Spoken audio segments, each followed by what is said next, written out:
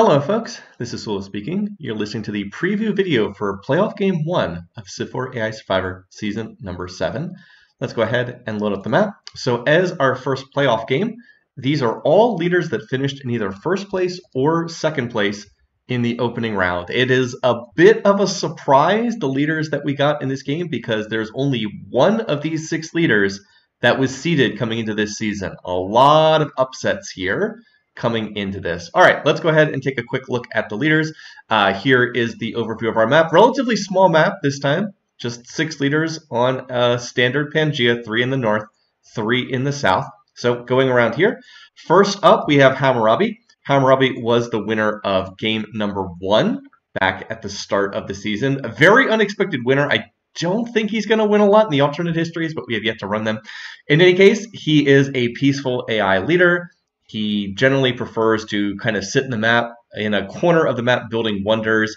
Has not been very successful before this season, largely because his traits are very poorly suited to a peaceful builder. Aggressive organized, not exactly peaceful builder traits. He has a coastal start here with double clams. Also does have the corn resource, which is a little, actually no, triple clams. Forgot the one down here. And uh, he does have a corn resource, which is a better fit for his starting techs. All right, next up we have Joao. I hope I'm pronouncing that correctly. Of Portugal, who had a very impressive game in game number four. Uh, we did already run the alternate history for that one, and he was a little bit lucky, but uh, he was still pretty strong in the alternate histories as well. Uh, his specialty is expansion, expansive imperialistic traits. Hadn't really done a whole lot with them prior to this season, but he had a good starting position in game number four, and he managed to avoid getting dogpiled.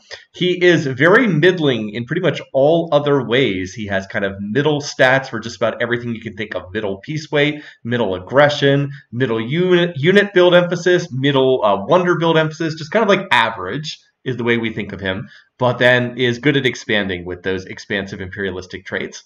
All right, next up then, we will go to the northwest corner. Over here is probably the biggest shocker from this season. Montezuma, yes, the man himself actually winning his opening round game.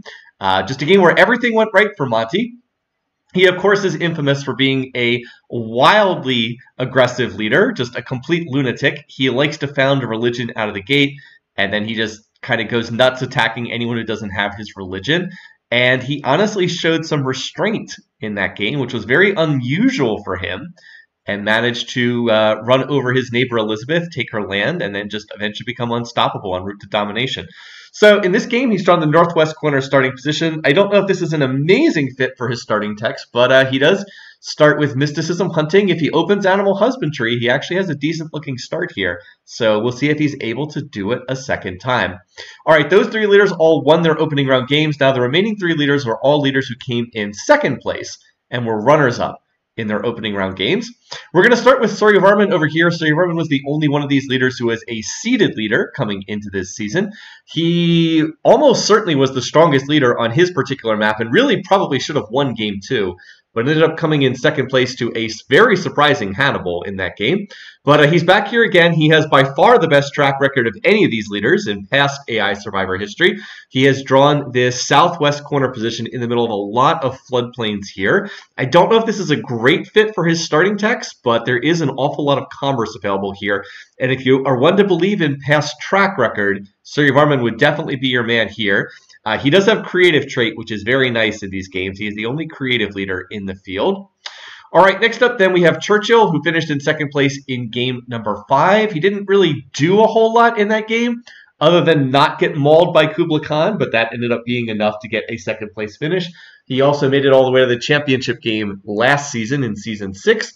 I personally don't think Churchill is a particularly good AI leader in this competition, but uh, he does have a habit of kind of hanging around he has very good defensive traits in charismatic protective. Does not have very good economic traits, certainly. He has drawn the northern starting position here, or northeast position on the map. And uh, I don't think this is a great fit for his starting techs by any means, but we'll see what he can do. A, he does at least have copper at the start, which is always nice for these AIs. And then finally, last but not least, second place finisher from game number two, Ramses of Egypt, another leader who had done very little in past survive, AI survivor history, but uh, somehow managed to avoid getting attacked. Uh, or, well, he did get attacked, but managed to survive in uh, game number eight. I suspect he will not do as well in the alternate histories, but we have not run them yet, so we have yet to see. Uh, he does have a very nice starting position here.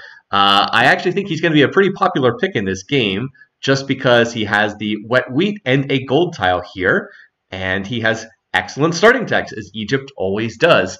Uh, and uh, maybe not quite as good leader traits with spiritual industrious, but he will have the opportunity to make something of himself here if he can survive being next to Montezuma on this map.